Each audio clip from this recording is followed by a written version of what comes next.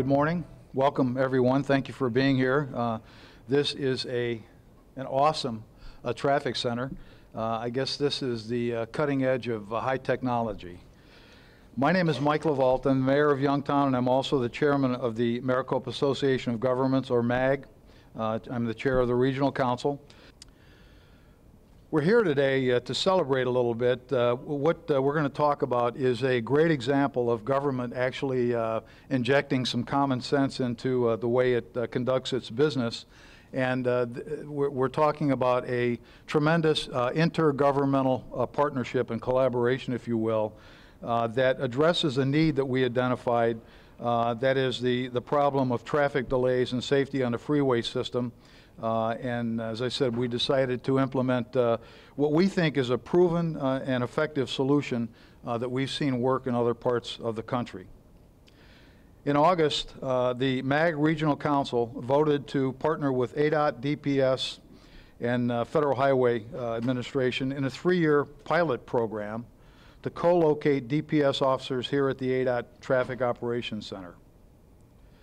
The cost of this three-year pilot program uh, is equally shared by MAG and ADOT, uh, which is $450,000 for the first year and $425,000 for each subsequent year.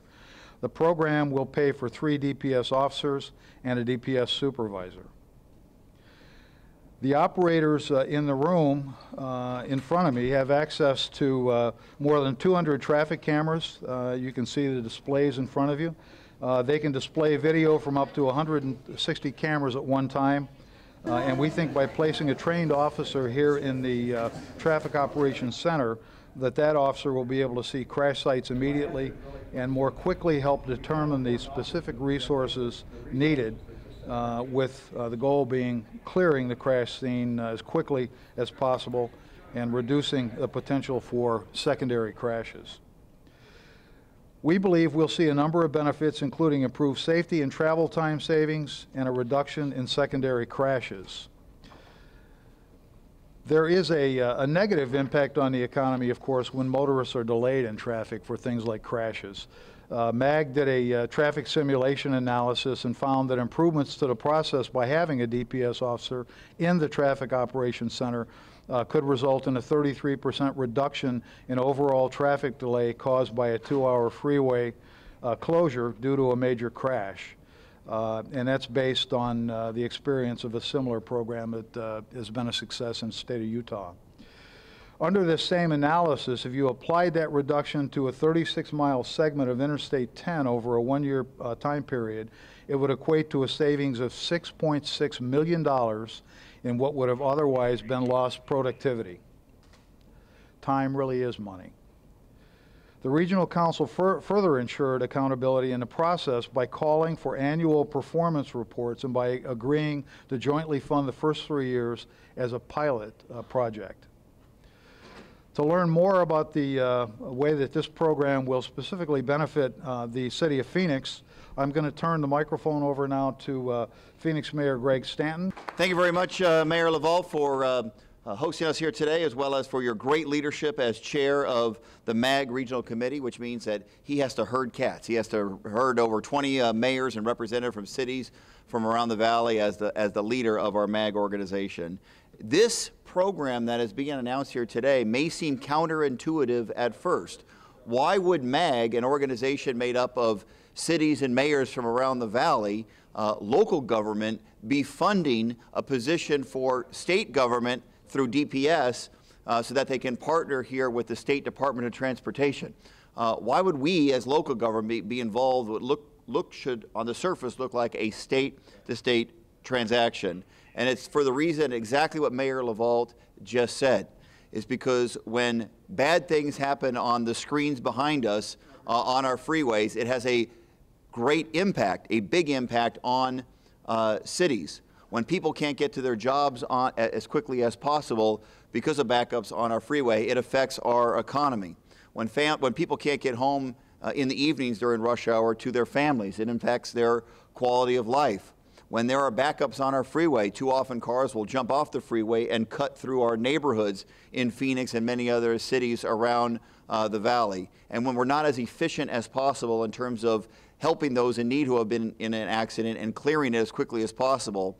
Our public safety officers, police officers, firefighters, emergency uh, officials, um, paramedics, uh, they, are, they are not on the street as quickly as they could, helping other people in our community.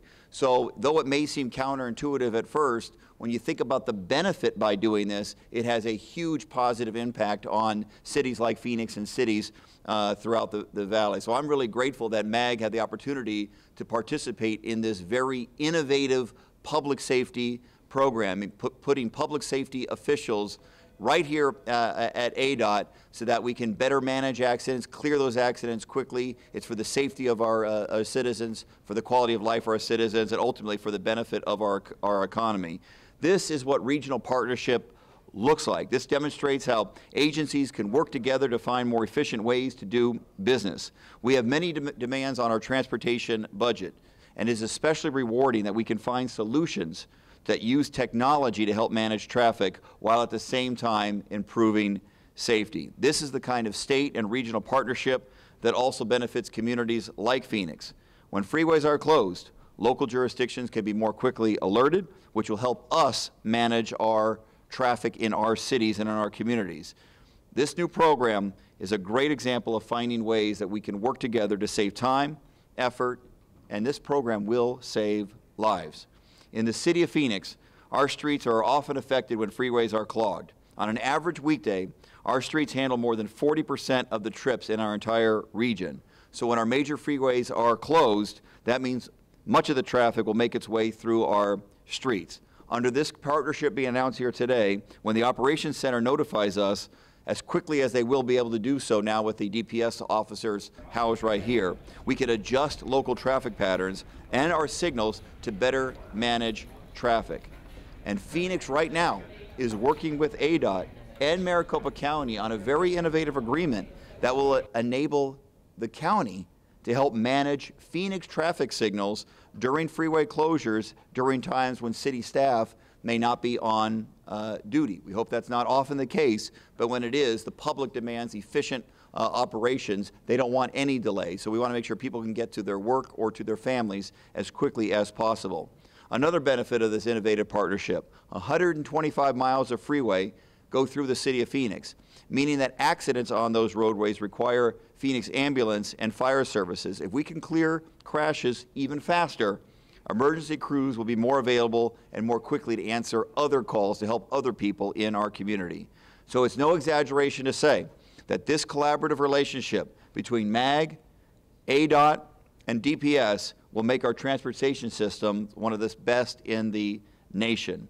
So as Mayor of Phoenix, I want to commend MAG and their professional staff, the leadership of MAG, Mayor LeVault, the leadership that you provide to this organization for having an open mind for these innovative type partnerships, our friends at ADOT, and of course DPS for partnering on this important effort. The MAG Regional Council will be closely monitoring this pilot program, and we believe it will serve as a national model. We have to engage in best practices, and when we have best practices, we like to share them with the rest of the country. Now it is my honor to bring next to the podium uh, the leader of the Arizona Department of Transportation, Director John Halikowski. Well, thank you, Mr. Mayor, and good morning, everyone. I'm very pleased and honored to be here.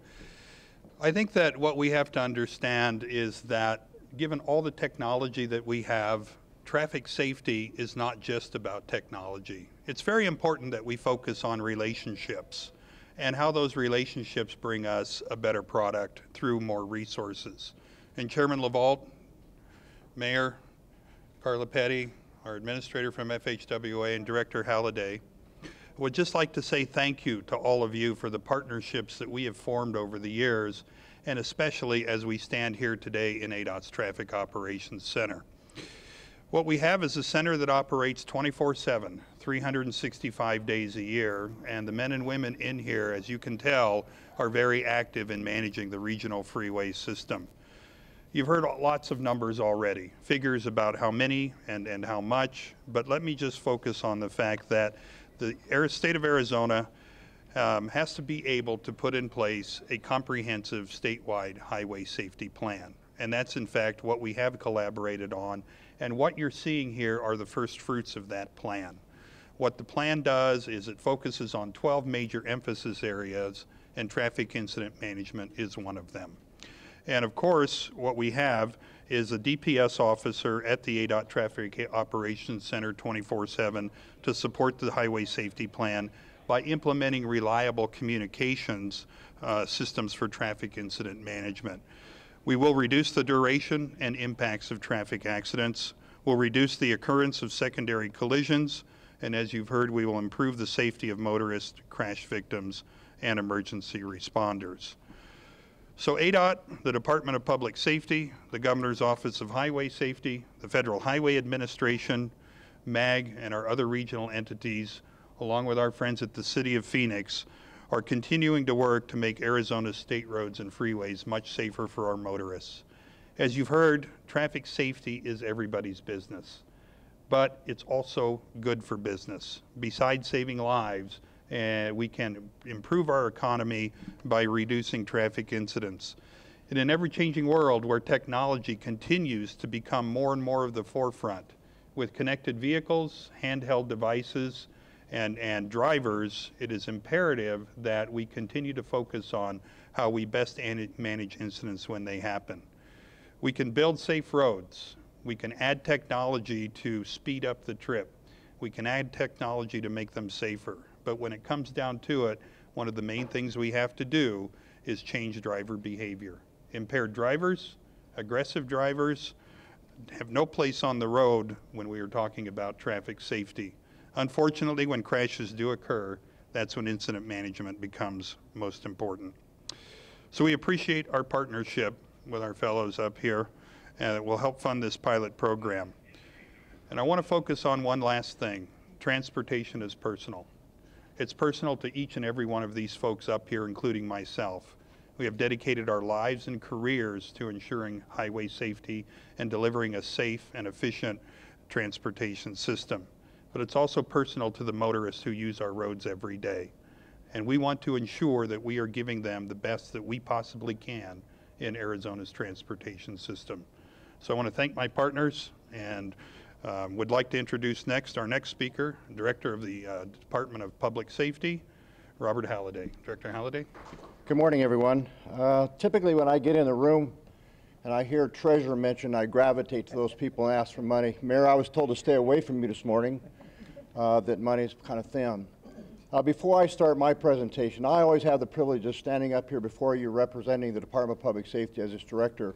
What I'd like you to do is pan to your right, to your right, the people that really make this happen. The little small guy all the way back of the room, Major Bill Beck. Raise your hand, Bill. He is the, he is the, uh, the, the commander that takes care of all the metropolitan Phoenix freeway systems, uh, gets it done. The other, we refer to him as James Cartier, more affectionately known as JP, a motor that has ridden these roads uh, in a lot of different capacities, will be your online supervisor here. Uh, they're the running backs. As I said, I get to stand up here in this position, but they're the people that really make this happen. And I want to, uh, I don't want this morning to, to pass by without recognizing them. Uh, the Arizona Department of Public Safety is proud to partner with the Maricopa County Association of Governments and the Arizona Department of Transportation in the placement of sworn DPS officers in the Traffic Operations Center. These specifically trained officers will help alert highway patrol units to collisions, especially during high volume truck and, and what we refer to as peak rush hour periods. It is important to have, have trained and experienced highway patrol officers working in the TOC, this, this place that we're in this morning. They know how to direct our units to a collision or disabled motorist and get emergency equipment quickly to the scene. As you know, that is all important. All of this is aimed at helping our highway patrol officers to quickly clear the highway so traffic delays and secondary collisions are kept at a minimum. The officers are being paid under a three-year grant. Thank you, everyone through the ADOT and the, Mar- and the Maricopa County, or the Maricopa Association of Governments. The officers will be under the supervision of JP, who I spoke to earlier, has been working in the TOC since the beginning of September of this year.